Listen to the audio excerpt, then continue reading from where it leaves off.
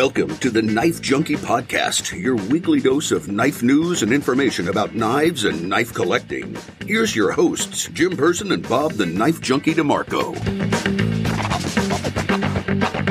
Well, hello, Knife Junkie, and welcome to episode number 93 of the Knife Junkie Podcast. I'm Jim Person. And I'm Bob DeMarco. Welcome to the show. Welcome to the Knife Junkie Podcast, the place for knife newbies and knife junkies to learn about knives and knife collecting. And Bob, maybe you can tell uh, my voice is a little different. I don't know. It's it's sounding a little deeper and richer today, Jim. Okay. But also well, maybe a little nasal. I'm, I'm sorry to Yeah. hear you're under the weather. Yeah, a little nasally, definitely. So uh, I'm not going to be talking too much this time, uh, as I normally do, but but but less talkative this time. But uh, uh, some knife life news coming up in this show. We also want to uh, give you a chance to talk about the. Uh, Cold Steel Kris and our buddy Stu, who was able to come through in a pinch for you to satisfy that need that you had.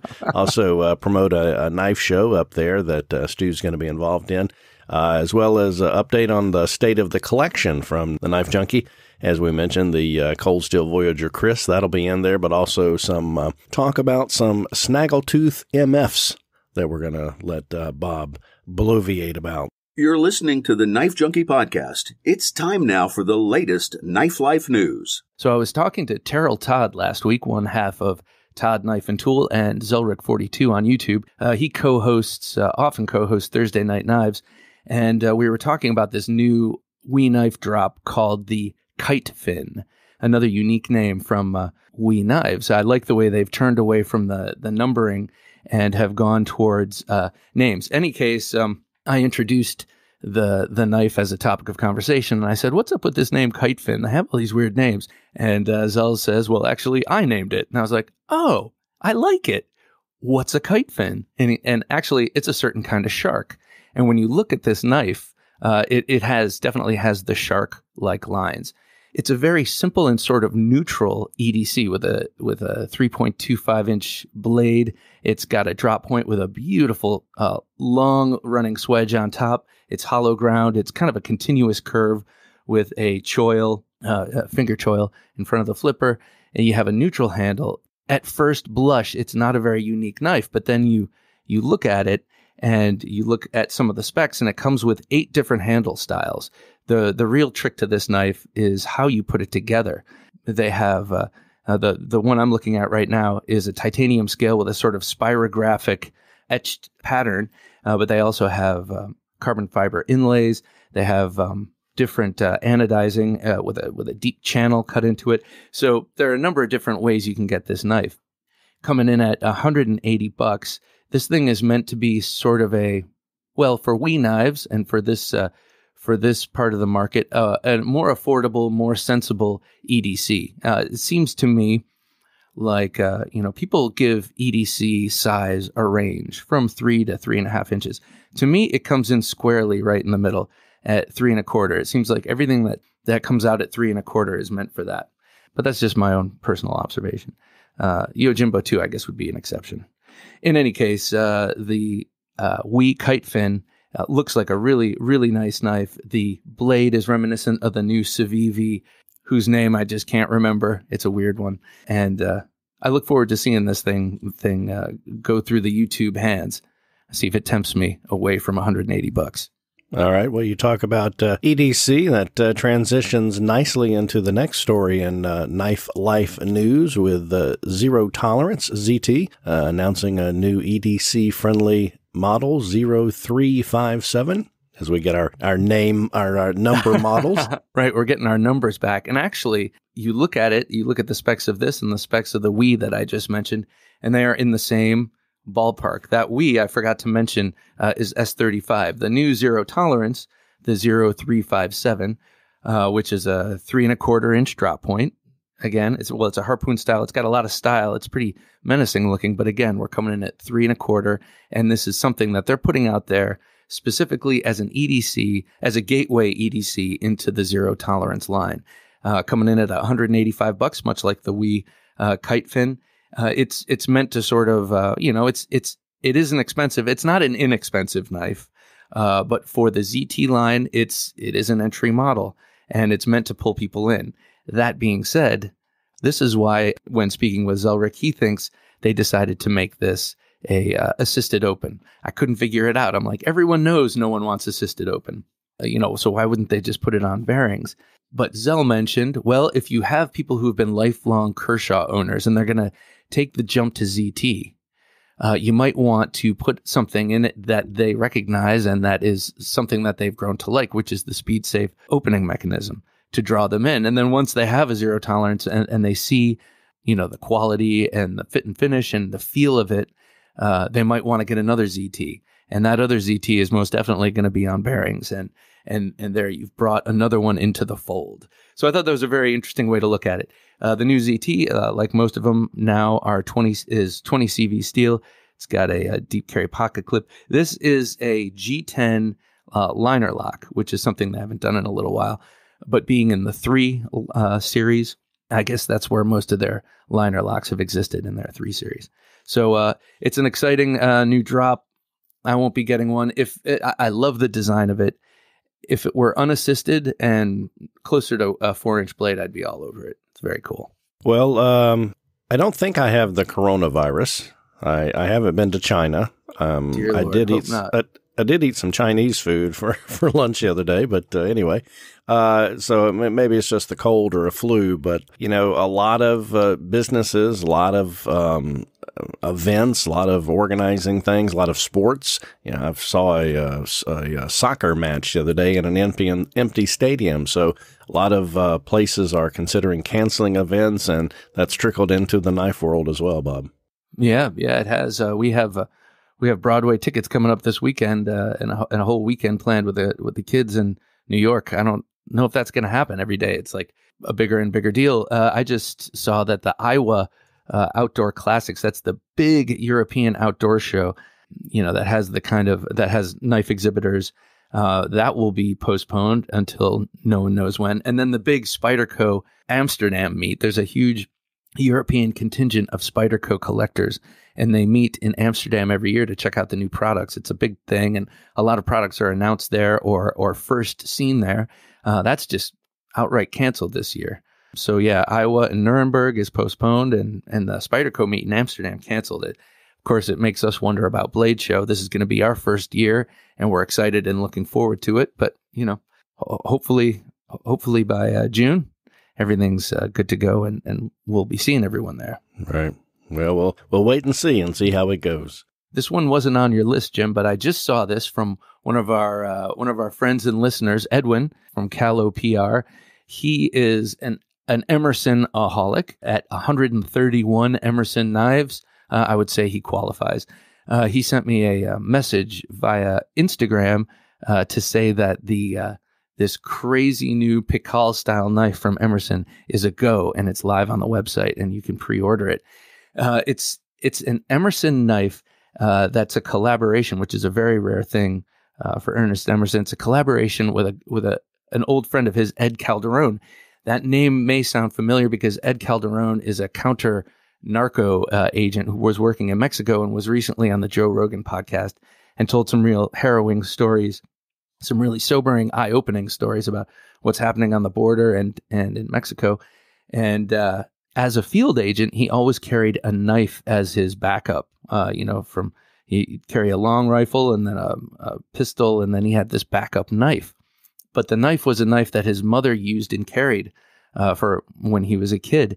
And uh, this thing was a utility knife, a kitchen knife, and she used it to uh, save the family from from street thugs that were were were jumping her. And so he always carried this knife as his uh, ultimate backup. And uh, recently came to Ernest Emerson and said, "Can you make a folding version of this knife?" And so that's what they've done. And when you look at it, it looks a lot like um, it's it's reminiscent of like the new Pinkerton inversion or any number of Pikal style, the, the Spyderco Pikal knife, any sort of Pikal style knife where it looks like the edge is facing in. Uh, but you have to go to the Emerson website and look up Elvia. That was the name of uh, that is the name of Ed Calderon's mother. Uh, the knife is named after her, and, and look at it. It's it's a little mind boggling the design. It is very cool, and it looks like the kind of knife you hold in your hand, edge in, and pair with like you you peel an apple with or um, you know peel an onion with And so you look at this knife, it's very menacing. It looks very effective as a tactical knife, but you can also see its lineage back to utility kitchen knife, hand paring knife. And uh, it just looks very cool. So anyone who's an Emerson guy, Emerson girl, go to the site, check it out.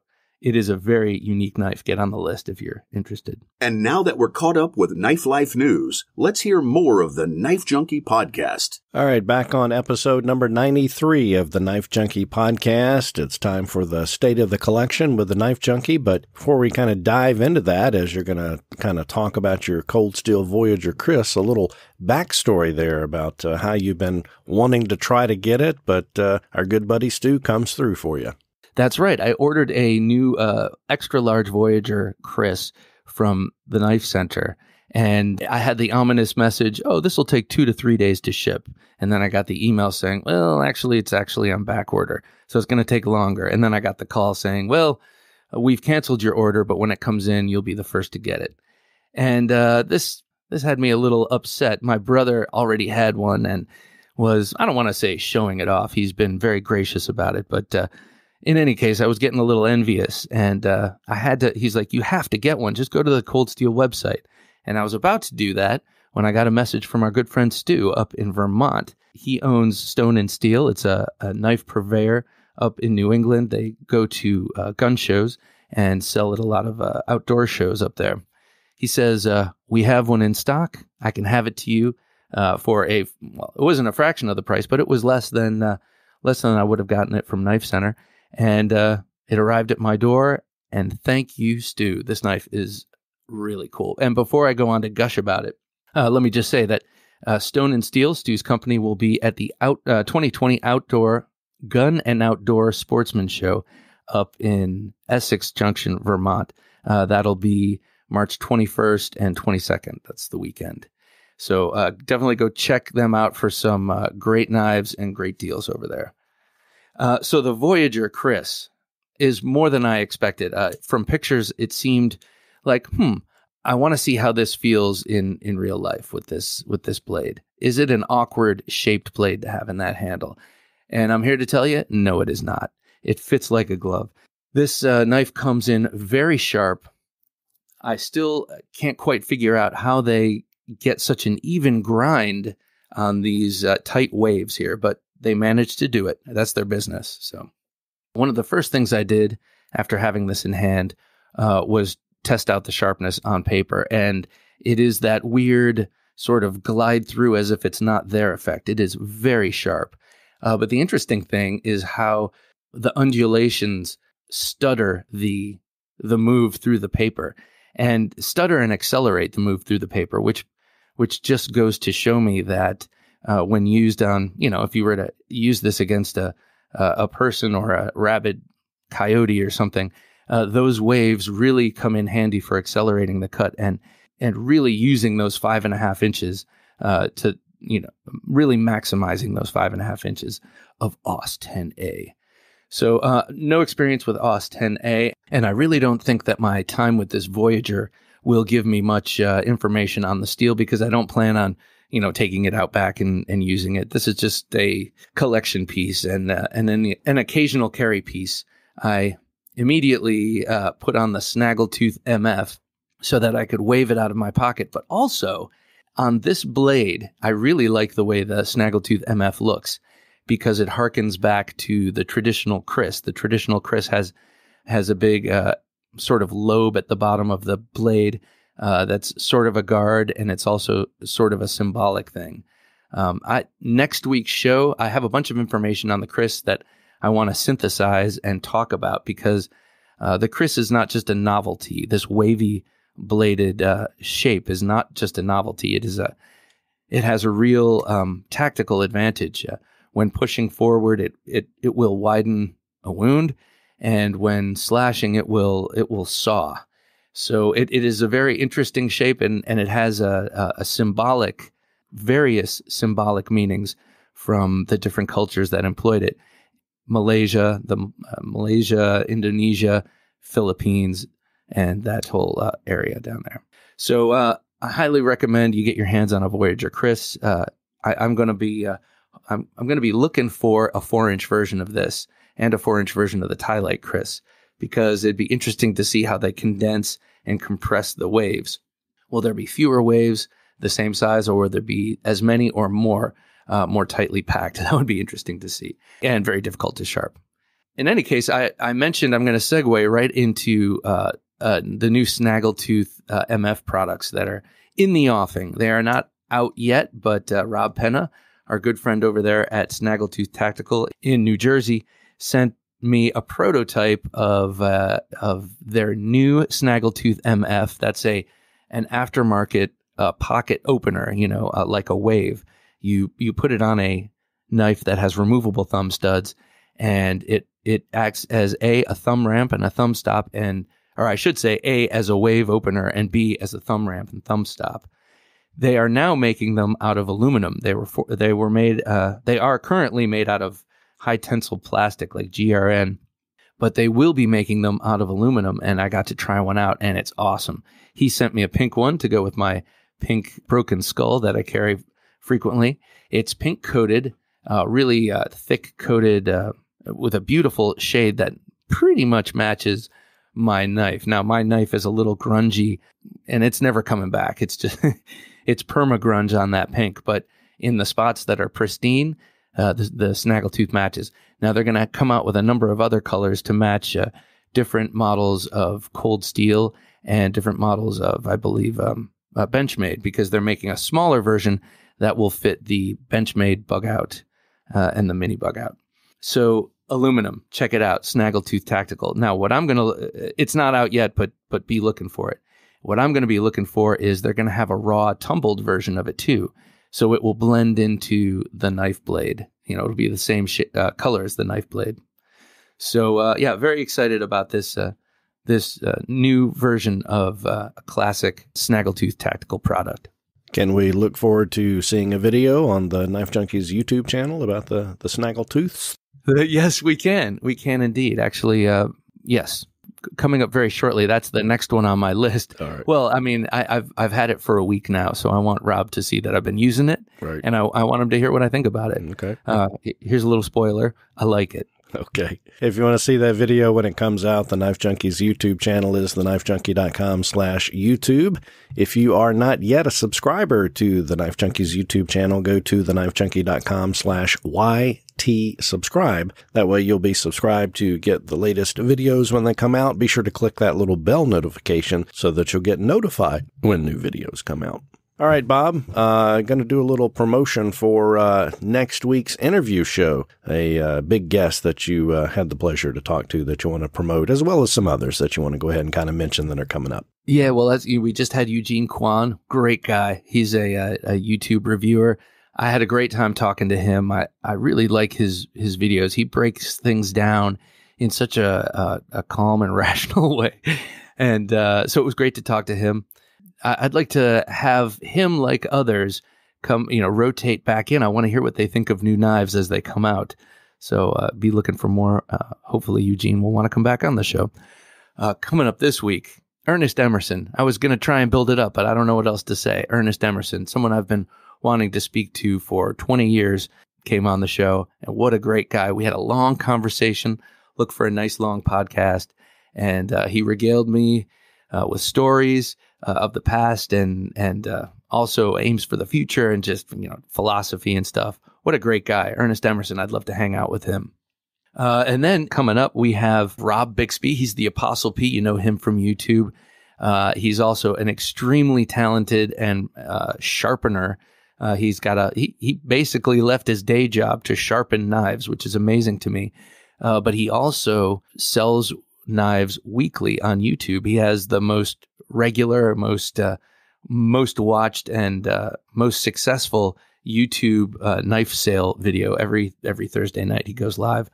Love him. He's going to be on, and then I'm going to be talking to Brian Tighe next week, and then that'll be a show that comes up a, a few weeks after that. So really looking forward to talking to all of these uh, interesting people, and I'm man, I'm, I, I feel uh, blessed and honored that I got a chance to talk to Ernest Emerson, and that it was in a an unrushed and uh, no technical difficulties, no nothing to worry about. We just got a chance to dig in. It was great. Mm-hmm. All right. Looking forward to that interview. As Bob said, that's coming up this weekend on the uh, interview show of the Knife Junkie podcast. We do two shows a week. This midweek is the chance where Bob gets to, uh, you know, talk about knives a little more in depth, new product drops, uh, updates us on his collection, kind of uh, goes behind the scene to talk about knives. And then uh, the Sunday interview show is where Bob has a chance to talk, again, talk to knife makers, knife designers, manufacturers, YouTube knife reviewers, anybody in the knife community and uh, kind of hear from them, kind of go, uh, kind of go deep and learn their story and uh, some, some, hopefully some behind the scenes stuff that people don't know about those guests. So if you uh, would like to be a guest or you know someone that you think would be a great guest on the Knife Junkie podcast, call the listener line at 724 466 4487. Leave us a, a, suggestion or shoot Bob an email at bob at theknifejunkie.com. And Bob, you mentioned the Apostle P and his knife sales. I uh, last weekend was able to purchase some knives at a, yes. knife auction, um, and so I was thinking maybe uh, put one or two of those up over the next several weeks on Thursday Night Knives. I think that'd be a great idea, and if any of them need uh, a little well you know what i could i could give them a little spa treatment and make a video of it well that was my that was my plan Oh, cool. I just hadn't told it. you about it. oh, I, I, like that plan. See, got to put you to work. See, really, really brilliant minds think alike. Absolutely. I'm really brilliant. Absolutely. Minds. Well, I'll, I'll, put a spoiler out. I, I, remember there was a cold steel tie light. There was a little buck knife that you had talked to me about. Unfortunately, the auction picture, which was online, didn't show the other side, and it has somebody did hand scrawling initials on one oh. side of the handle. So it's like, oh, darn it all. But anyway. Hey, well, you know what? I, I told you anyway that I was going to probably buy that knife. That doesn't, that won't stop me. To me, that makes it even kind of cool. Oh, cool. Okay. You know? Well, we'll see. So, one last thing I want to mention to you uh, a, a, little behind the scenes action going on with uh, Alex Tissot. Looks like I'm going to buy two knives from Alex, and I'm very excited because, you know, he always dotes over his knives. Uh, but uh, after talking with Ernest uh, Emerson, the Iron Dragon, which actually we didn't talk about, but we talked about Richard Bustillo, his his uh, Jeet Kune Do teacher and uh, JKD Kali teacher. He he made the Iron Dragon after him, and uh, he's a legend in that art. And uh, I've always wanted that knife, so I'm going to be getting that from Alex, as well as my first Medford. So mm. you'll be hearing about those in the upcoming weeks. I, I, I still need to sell a couple of knives, uh, but he's he's uh, granted me a couple of weeks to to get it together. Mm, so okay. So yeah. I'm sure look forward to look forward to that. Bob is on his pre Blade Show knife buying extravaganza. Yeah, that's so stupid. Why am I doing this? because they're the knives you want and they're available now. That's right. That's yeah. right. Let's justify it. Plus, as I said the other week, it's a leap year. So you got to go leap it. year. I keep forgetting about that. And yeah. by the way, leap day, the 29th of February, was my Chris Reeve Sebenza's birthday. So this this is either a four year old knife or a one year old knife, depending on how you look at it. There you go. All right. That's going to do it for uh, this episode of the Knife Junkie podcast, episode number 93. You can find show notes and uh, other stuff at theknifejunkie.com slash 93. And as I always do, I let the Knife Junkie get the final word. So what is it this week, Bob? Okay, so this week, sell a knife, see how good it feels.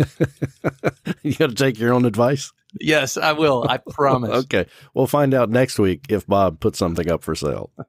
Thanks for joining us, everybody. For Bob, the Knife Junkie DeMarco, I'm Jim, the Knife Newbie Person. Thanks so much for joining us. Thanks for listening to the Knife Junkie Podcast. If you enjoyed the show, please rate and review at reviewthepodcast.com. For show notes for today's episode, additional resources, and to listen to past episodes, visit our website, theknifejunkie.com. You can also watch our latest videos on YouTube at theknifejunkie.com slash YouTube. Check out some great knife photos on theknifejunkie.com slash Instagram and join our Facebook group at theknifejunkie.com slash Facebook. And if you have a question or comment, email them to Bob at theknifejunkie.com or call our 24-7 listener line at 724-466-4487 and you may hear your comment or question answered on an upcoming episode of the Knife Junkie Podcast.